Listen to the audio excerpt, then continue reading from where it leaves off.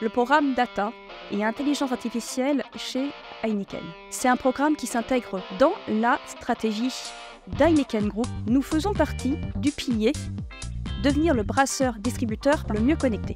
Quand je suis arrivée, il me tenait à cœur de montrer le plus rapidement possible qu'il s'agissait d'un programme héroïstique. Ça devait être à tout prix un centre de profit pour moi. Je vais parler de trois cas d'usage. Quand on travaille sur un programme data, le premier rôle essentiel à nommer, c'est le rôle de data owner. Aujourd'hui, je reçois Emeline, qui est Head of Data Management and Advanced Analytics chez Heineken, le groupe qui produit notamment la bière éponyme, mais pas que. Emeline va nous en dire un peu plus. Elle va nous parler également des chantiers qu'elle a mis en place dans le cadre du programme Data et IA d'Heineken, de quelques projets et de ses plus gros challenges de ces dernières années. Hello Emeline, ça va? Ça n'a jamais été aussi bien. Bah écoute, je suis ravi de te recevoir sur le podcast. Peut-être est-ce que tu peux nous en dire un peu plus sur Heineken et notamment la data chez Heineken? Heineken est une société extraordinaire. Il faut savoir que c'est une entreprise, le nom d'un créateur et une marque. Cette société est détenue depuis quatre générations. C'est en effet en 1873 que Gérard Adrian Heineken décide d'ouvrir sa petite brasserie dans le centre-ville d'Amsterdam.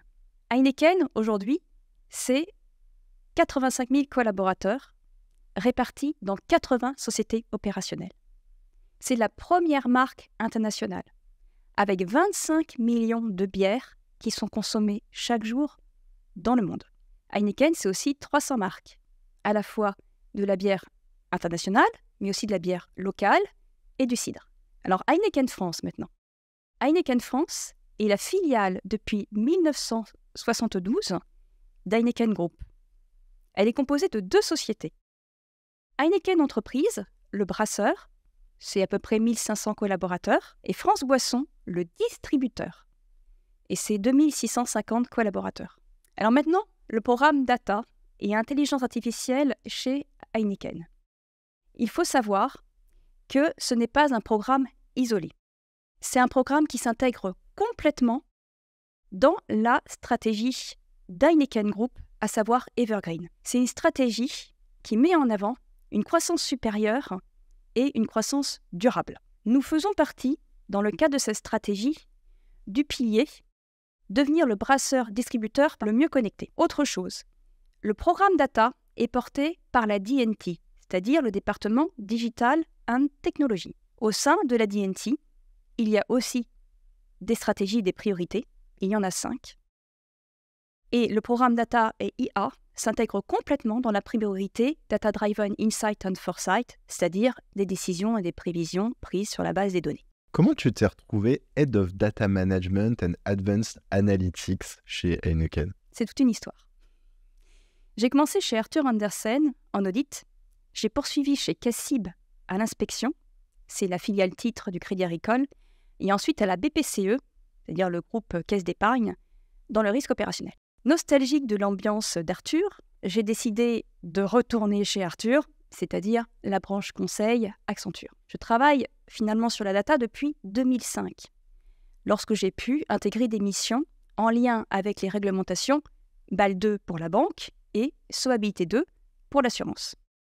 Ensuite, j'ai poursuivi au sein de cabinets de grands noms, toujours en étant responsable data et en élargissant mes horizons sur le RGPD, la fameuse réglementation générale de la protection des données, donc au sein euh, du domaine bancaire. Et j'ai décidé, en tout cas j'avais le sentiment d'avoir fait le tour du consulting. Donc je souhaitais traverser le miroir et mettre en place un programme data au sein d'une grande organisation. C'est Heineken France qui, en septembre 2021, allait me donner cette formidable opportunité. Aujourd'hui, je suis donc la Head of Data Management and Advanced Analytics, c'est-à-dire Chief Data and Analytics Officer sur le marché, et j'ai la responsabilité de trois départements, à savoir le Data Management Office pour la gouvernance et la qualité, le Data Lab pour l'analytics, et enfin le département Master Data pour la gestion des données de référence chez Heineken Entreprise. Quels ont été les plus gros chantiers passés dans le cadre du programme Data et IA chez Heineken? Quand je suis arrivée, il me tenait à cœur de montrer le plus rapidement possible qu'il s'agissait d'un programme héroïstique, c'est-à-dire qui produisait de la valeur et non pas un centre de coût. Ça devait être à tout prix un centre de profit pour moi, très important. Aussi, j'ai décidé de relier la démarche de qualité au cas d'usage business intelligence qui était alors développé dans le Data Lab. C'était ainsi beaucoup plus évident pour les collaborateurs avec qui je travaillais, les métiers, les business lines, de comprendre l'intérêt de disposer d'une donnée de qualité pour assurer la viabilité de leur rapport Power BI. J'ai ensuite étendu cette méthodologie au cas d'usage intelligence artificielle. Deuxième chose, il n'est jamais facile de cranter, de démarrer un programme data et intelligence artificielle dans une organisation. Il y a de multiples défis. Et l'un des principaux défis, c'est la compréhension. Quelle est l'utilité d'un programme data? Pourquoi maintenant? Pourquoi faire? Il faut constamment évangéliser. Il est certain que le digital et l'intelligence artificielle nous apportent des réponses à ces questions. Mais il faut constamment communiquer. Et pour cela, nous utilisons l'ensemble des canaux de communication de l'organisation, que ce soit Workplace, le réseau interne de communication, que ce soit les écrans, que ce soit les newsletters digitales et c'est un vrai succès. Tu peux nous parler justement d'un ou deux cas d'usage? Je vais parler de trois cas d'usage. D'abord pour le distributeur. Alors le distributeur, au niveau de ses clients, il s'agit majoritairement des cafés, hôtels, restaurants. Et ce distributeur distribue aussi bien des produits Heineken que d'autres produits, de l'eau, du jus de fruits, du café, du chocolat. Il était important de renforcer la qualité du service et le parcours client. Pour ça, nous disposons d'un moteur d'apprentissage programmé et automatique qui permet de disposer de recommandations de produits sur le site de commerce Isol. Et ces recommandations de produits sont en lien avec les préférences de nos clients. Et c'est pas tout, c'est aussi un moteur qui permet de disposer de propositions de remplacement en cas de rupture de stock. Donc ça, c'est pour le premier cas d'usage. Le deuxième, il s'agit de travailler sur euh, la force de vente, nos commerciaux. Il fallait assister nos commerciaux. Il faut les rendre des partenaires stratégiques pour nos clients, en tout cas renforcer ce partenariat stratégique pour nos clients. Pour cela, ils disposent d'une suite de produits qui leur permet une visibilité sur le changement de comportement d'achat avec des recommandations d'actions priorisées. On est dans un véritable duo gagnant-gagnant entre notre force commerciale et nos clients. Maintenant, si on passe côté Heineken, Heineken Entreprise, le brasseur. Il était important de disposer de promotions efficaces. Donc nous avons pour le département Revenu Management Grosse, dont l'objectif est de maximiser les revenus et la marge, nous avons un outil qui utilise l'intelligence artificielle et l'automatisation. Il permet d'avoir des informations exploitables, mais aussi d'avoir des propositions prédictives, des simulations prédictives et des recommandations d'action pour disposer de plans de promotion efficaces. Ainsi, nos clients disposent de ces plans de promotion efficaces et nos consommateurs des promotions attendues. Excellent. Quels ont été les plus gros challenges que tu as rencontrés ou que vous avez rencontrés en tant qu'équipe euh, dans le cadre de ces différents projets ou, de ce programme plus globalement? Pour un programme data et intelligence artificielle, il est très important de disposer d'une équipe à la fois compétente mais aussi soudée. Nous avons mis en place une communication transverse entre les départements, donc entre le Data Management Office, le Data Lab et le département Master Data. Nous avons aussi été chercher des talents, des experts en externe. Et aujourd'hui, effectivement, nous disposons euh, d'une équipe extrêmement soudée et j'en suis très fière. Le deuxième aspect que je veux couvrir, c'est le fait que nous sommes au sein de la DNT, donc du département digital et technologie. Il était essentiel aussi que nous puissions euh, établir des euh, connexions, des liens avec tous les collaborateurs de la DNT. Puisque quand l'on mène un programme data IA, il y a beaucoup de choses aussi qui, sont nécessaires de savoir au sein des systèmes d'information. Et de par les travaux que nous avons menés, nous avons réussi à construire ces liens. Et aujourd'hui, je suis très heureuse d'avoir une collaboration aussi fructueuse avec mes collègues de la DNT. Il y a un sujet dont on a parlé lorsqu'on s'est appelé, c'est celui du placement des Chief Data and Analytics Officers dans l'organisation. Tu peux nous donner ton avis sur ce point? Alors j'ai demandé à Copilote. Et il se trouve qu'il y a effectivement une évolution de ce placement du Chief Data Officer dans les organisations et qui est relié au poste même de Chief Data Officer qui a évolué dans le temps. Au départ, les missions étaient plutôt régaliennes autour de la gouvernance et autour de la qualité. Elles évoluent aujourd'hui de plus en plus vers l'analytics, en embarquant bien évidemment l'intelligence artificielle.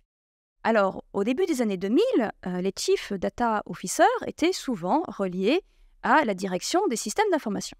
Après la crise de 2008, il y a eu un focus important sur la qualité de la donnée. Et là, selon Copilote, qui s'appuie sur des études de Gartner, ces Chief Data Officers étaient davantage reliés aux Chief Executive Officers. Et depuis 2017, à peu près 90% des grandes organisations disposent d'un Chief Data Officer dans le monde, ce qui est extrêmement positif. Et ils ont tendance à être liés directement à la direction générale dans un but de maximiser la valeur de la donnée. Quelles sont les prochaines étapes pour l'équipe euh, data euh, et IA euh, chez Educate Nous avons des challenges passionnants. Nous souhaitons mettre en place un challenge data que nous avons d'ores et déjà mené au sein d'Heineken Entreprise l'année dernière, qui a eu une notation de 4,5 sur 5. Et nous souhaitons du coup l'étendre chez France Boisson, donc côté distributeur, afin qu'ils puissent bénéficier de tout cet enseignement autour de la data et autour de l'intelligence artificielle. Deuxième challenge extrêmement euh, passionnant, nous avons un outil euh, de gouvernance qui s'appelle Colibra. C'est un outil euh, réputé sur le marché. Aujourd'hui, nous travaillons sur une meilleure appropriation en interne de cet outil. Pour ça, il nous faut améliorer l'expérience utilisateur. Et nous travaillons tous les jours à l'optimisation de cet outil Colibra. Et le troisième défi, c'est les rôles et responsabilités. Nous avons commencé à identifier quelques rôles et responsabilités en 2024.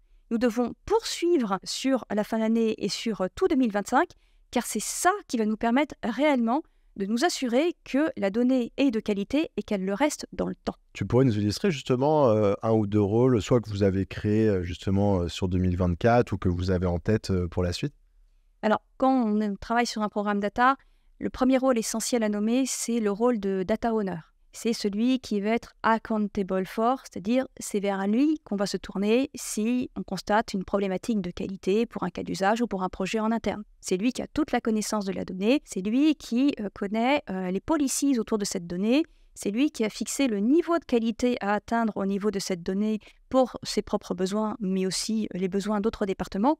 Et par voie de conséquence, c'est vraiment le pilier en termes euh, de rôle et de responsabilité dans une organisation. Nous avons d'ores et déjà commencé à identifier ces rôles au sein du département HR. Nous devons passer maintenant au rôle de data steward, celui qui va appuyer le data owner euh, dans euh, son activité quotidienne. Et nous allons aussi travailler grâce à l'Enterprise Data Model, au modèle de données de l'organisation, à l'identification des autres data owners au sein des autres business lines de l'organisation. Écoute, Emeline, on arrive sur les dernières questions. Est-ce que tu as une recommandation de contenu à partager à nos auditeurs? Alors surtout, n'hésitez pas à regarder les posts de Suragit Gauche, qui est notre euh, responsable analytics au niveau groupe, Heineken Group, et qui vous parlera au travers de ces posts des prochains cas d'usage intelligence artificielle que nous allons développer au sein de l'organisation.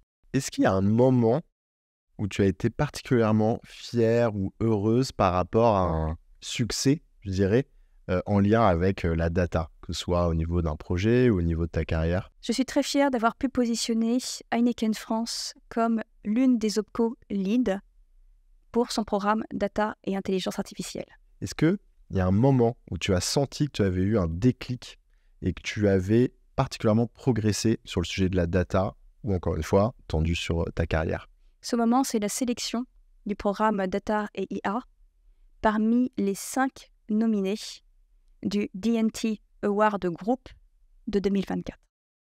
Et enfin, est-ce que tu as un conseil à partager euh, que tu as reçu, par exemple, qui t'a particulièrement marqué? On ne change pas le sens des rayures d'un zèbre. J'adore. Écoute, Evelyne, on va finir là-dessus. Merci beaucoup d'être venu sur le podcast pour partager ton expérience, parler du programme Data et IA d'Heineken. C'est super inspirant. Euh, j'en profite pour vous demander dans l'audience que vous avez pensé de cet épisode avec Emeline. Mettez-nous un petit commentaire. euh, sur YouTube, si vous êtes sur YouTube, sur Spotify, si vous êtes sur Spotify. Vous venez également mettre un commentaire sur les posts LinkedIn qu'on fera avec Emeline pour euh, diffuser cet épisode. Euh, profitez-en pour vous abonner, quelle que soit la plateforme sur laquelle vous êtes. Et je vous dis à bientôt. Merci Emeline. Merci beaucoup Robin.